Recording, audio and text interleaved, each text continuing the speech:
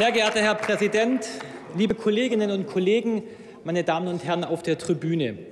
Die soziale Marktwirtschaft ist seit 70 Jahren ein Garant für wirtschaftliche und soziale Stabilität in Deutschland.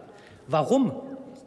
Sie stellt Menschen in den Mittelpunkt des wirtschaftlichen und gesellschaftlichen Handelns.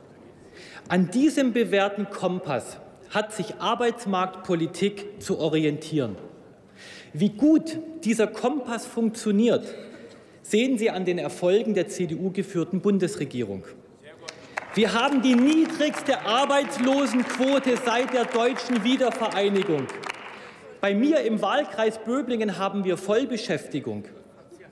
Auch in der heutigen Debatte um sachgrundlos befristete Arbeitsverträge stehen Menschen im Mittelpunkt.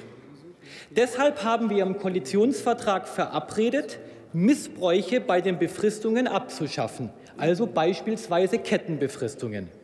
Wir dürfen aber umgekehrt nicht so tun, als ob sachgrundlos befristete Arbeitsverträge ein Massenphänomen sind.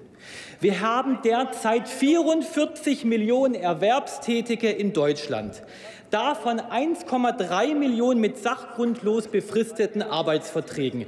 Das sind gerade, meine Damen und Herren, 2,7 Prozent.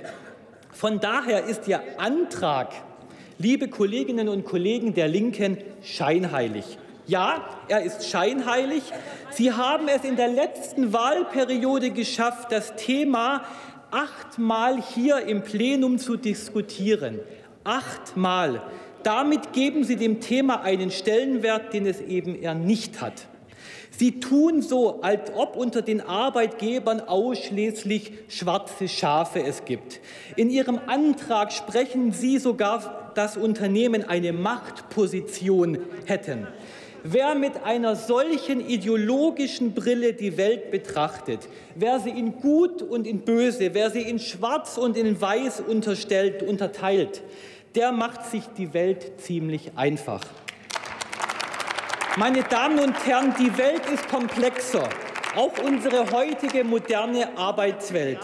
Das wird hier jeder bestätigen kennen, der selbst einmal in der freien Wirtschaft tätig war, so wie ich. Auch ich hatte einen sachgrundlos befristeten Arbeitsvertrag. Daher kann ich aus eigener Erfahrung sagen, befristete Arbeitsverträge, meine Damen und Herren, sind kein Teufelswerk, sondern ein wichtiges arbeitsmarktpolitisches Instrument.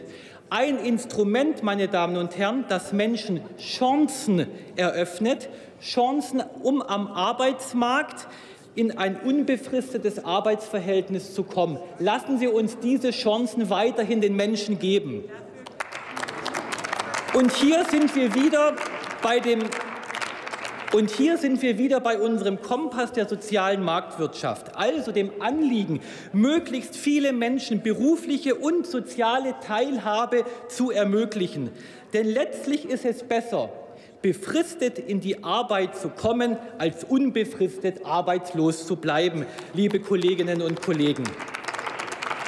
Befristete Arbeitsverträge sichern Unternehmen eine gewisse Flexibilität, um wettbewerbsfähig zu bleiben. Aber grenzenlose Flexibilität muss auch klare Leitlinien haben. Dafür haben wir im Koalitionsvertrag wichtige Elemente mit eingearbeitet. Was wäre stattdessen die Folgen, wenn wir sachgrundlos befristete Arbeitsverträge abschaffen würden, so wie Sie es fordern? Unternehmen würden Stellen abbauen, wir hätten mehr Zeitarbeit und Arbeitsplätze würden ins Ausland abwandern. Und am Ende wundern sich die Linke, wenn die Arbeitslosenquote steigt. Lassen Sie uns stattdessen die wirklich dringenden Probleme auf dem Arbeitsmarkt lösen, anstatt zum x-ten Male hier im Parlament über Ihren Antrag zu diskutieren. Schauen wir also auf Langzeitarbeitslose, auf Bildungsabbrecher, auf den demografischen Wandel, auf den digitalen Wandel. Davon sind weitaus mehr Menschen in Deutschland betroffen als der Zahl der Arbeitnehmer, über die wir heute hier sprechen. Die CDU-CSU-Bundestagsfraktion wird in dieser Wahlperiode jedenfalls nutzen, um mit Blick auf diese zentralen Themen zu richten und den Menschen in den Mittelpunkt unserer Arbeit zu stellen, ganz im Sinne der sozialen Marktwirtschaft.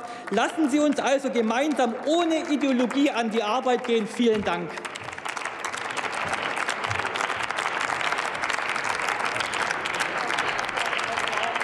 Danke. Nächster Redner ist der Abgeordnete Bernd Rötzel für die SPD.